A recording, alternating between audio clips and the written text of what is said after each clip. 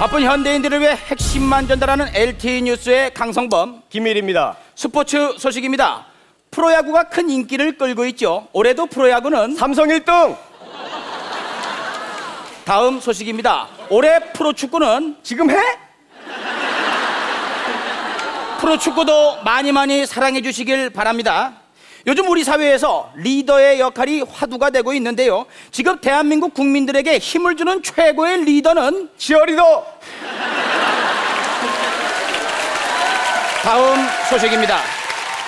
세월호 참사 이후 일명 낙하산 인사에 대한 비난 여론이 높은데요. 이렇게 퇴임 후 공기관에 한 자리씩 차지하고 있는 분들을 일컬어 반피야 철도 비리와 관련된 분들을 절피야 뭐가 잘못됐는지도 모르고 있는 이분들의 공통점은 절면피야 다음 소식입니다. 영국에서 흥미로운 조사 결과가 나왔는데요. 여러분 행복하십니까? 놀리냐? 다음 소식입니다. 대기업의 골목 상권 잠식이 심각하지요. 치킨집에 빵집까지 뛰어들어서 영세 상인들의 목을 조르고 있는 대기업은 하는 일이나 잘해 그리고 저 정치에 개입했다는 의혹을 받고 있는 국정원은 하는 일이나 잘해 요즘 국회의원들은 하는 일이나 하는 일이 있었나?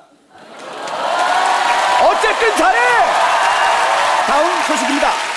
지난달 최전방초소에 북한군이 침입을 해서요 배를 울리고 도망갔다고 하는데요. 이런 것들이 북한 군인들에게는 담력 훈련 이 사건에 대해 쉬쉬하고 있는 우리 군은 침묵 훈련 이런 소식을 접할 때마다 우리 국민들은 분노 조절 훈련 다음 소식입니다.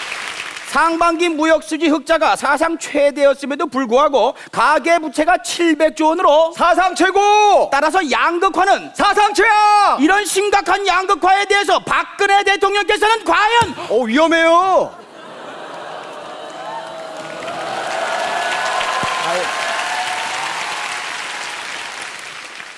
우차사를 볼까요?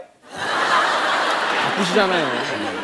금요일 밤 11시 20분인데 참 잘 넘어가시네 다음은 LT 초대석 시간인데요. 말도 많고 탈도 많았던 인사청문회를 넘기신 유리 장관 후보자분들 모시고 못다한 이야기 나눠보겠습니다. 어서 오시죠. 안녕하십니까. 그 불법 정치 자금은 왜? 죄송합니다. 그렇다면 아파트 다운 계약서는 죄송합니다. 잔디밭에 고추를 왜? 죄송합니다. 후배의 논문을 왜 표절? 죄송합니다. 지금 장난하시는 겁니까? 죄송합니다. 그만두겠다는 얘기예요? 죄송합니다. 계속 밀어붙일 겁니까? 죄송합니다. 뭐 녹음기 틀어놨어요? 죄송합니다. 죄송합니다. 죄송합니다. 죄송합니다. 죄송합니다. 죄송합니다. 죄송하고요.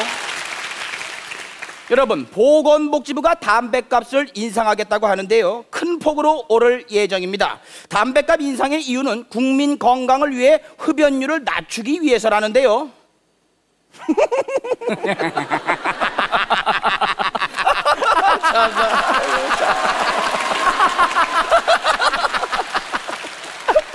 LTE 뉴스 여기까지입니다. 여러분 편안한 밤 되시길 안녕